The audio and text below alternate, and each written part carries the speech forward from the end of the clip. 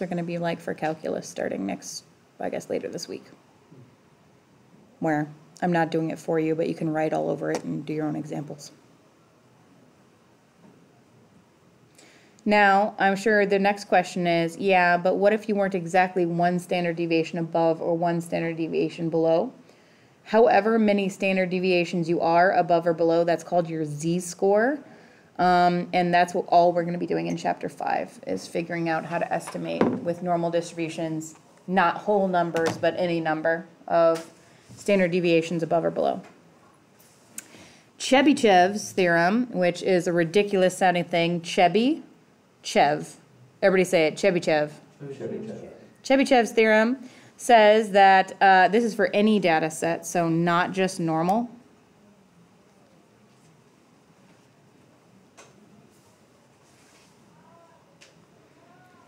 So not just for normal data, for any data set. Although I think this one's kind of a bogus theorem because it says at least and then it like is just ridiculous. So it's at least uh, that much is in between the two things. So do you remember for a bell curve between um, one standard deviation there was 68%? And here they're saying within two standard deviations, with a bell curve, it's 95%. They're saying at least 75% of the data has to lie within the mean. It's basically you use this formula, the 1 minus 1 over k squared, and k is the number of standard deviations.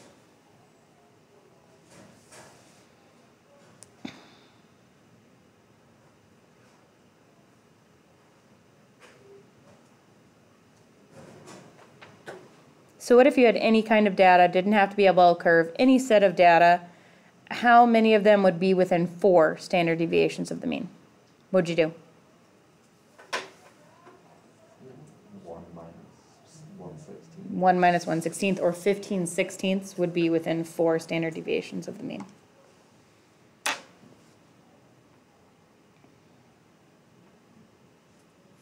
Okay. Um, so this is how an example like this would look on an AP test. They would say the age distribution of people in Alaska. Can you tell me why people in Alaska's age distribution is, is not a bell curve? Probably not in Lewiston either. Cause what? Well, I'm talking about the ages of people. It doesn't talk about how many there are, right? Alaska is very harsh, so that stops certain groups of people from being there. So like older people are definitely gonna be underrepresented. That's right. And if you go to Florida, you're gonna have an overrepresentation of people over sixty. Because people who are over sixty like to retire to Florida, especially in certain communities. I'd say in this community, um, there's probably a lot more older people than younger people.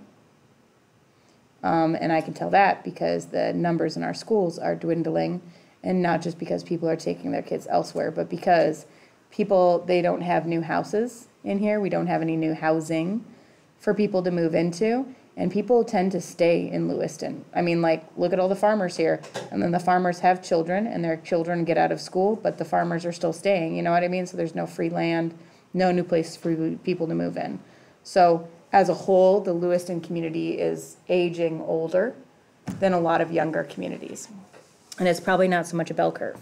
So Alaska, same thing. The mean is 35.3.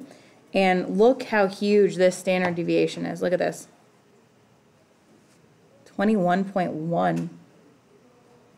So if you use the statement about the data using Chebyshev's theorem and k equals 1, uh, we can't use k equals 1. That's the only one you can't use because it's 1 over 1. So let's say, let's try 1.5 deviations. All right, 1.5 deviations above the mean. Everybody write 1.5. The formula on the back page says 1 minus 1 over k squared, or 1.5 squared. So everybody put that in your calculator. Take 1 minus 1 divided by 1.5 squared. This actually, you don't need any parentheses. It'll do it itself because it's going to square first, then divide, then subtract. I got about fifty-six percent. You guys get the same thing?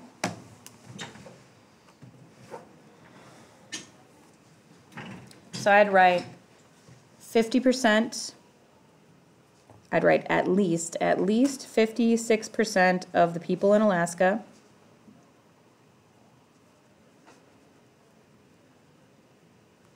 Are. And then I'd subtract one point five of these from it. So I'm gonna take thirty-five point three and subtract, uh, one point five times twenty-one point one between. So basically between four years old, I got three point six five. And then I'm gonna do the exact same equation, only I'm gonna add one point five times the standard deviation. And sixty-seven years old.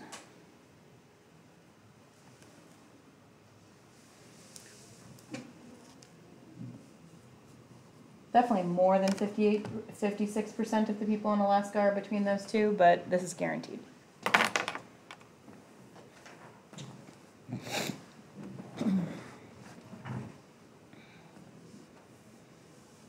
All right, next, we're talking about box and whisker plots. All right, we need some data. Let's see, what should we talk about today? How about how many pets you've had in your lifetime? Can you count them up? If they had a name, yes. If they had a name, If they have a name, they count. That's a pet. If a fish doesn't have a name, that's a decoration. That moves and breathes. Same thing with cattle. If you have cattle like a farm, if you've named them and kept them, at least for long periods of time, that's a pet. If it's number thirty-two, Yeah, but if there's an emotional bond there, between number thirty-two and you, yeah, are you still gonna kill number thirty-two? eventually. Yeah. Okay, you decide.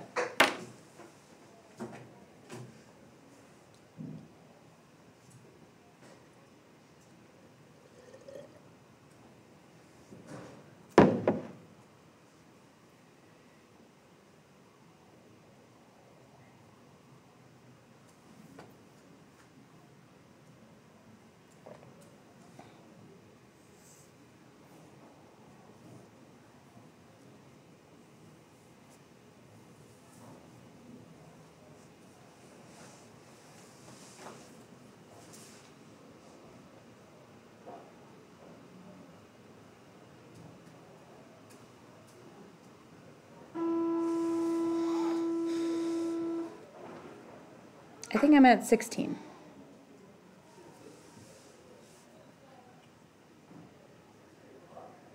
How about you, Nathan?